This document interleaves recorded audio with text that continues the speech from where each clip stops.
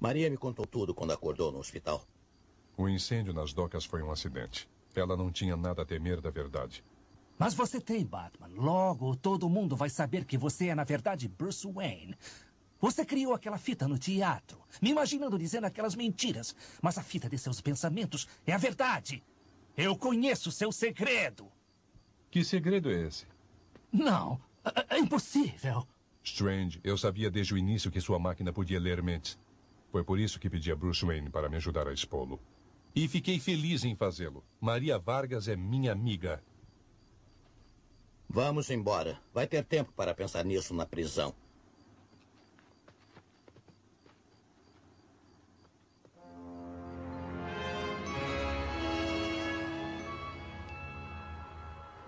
Nada mal, hein?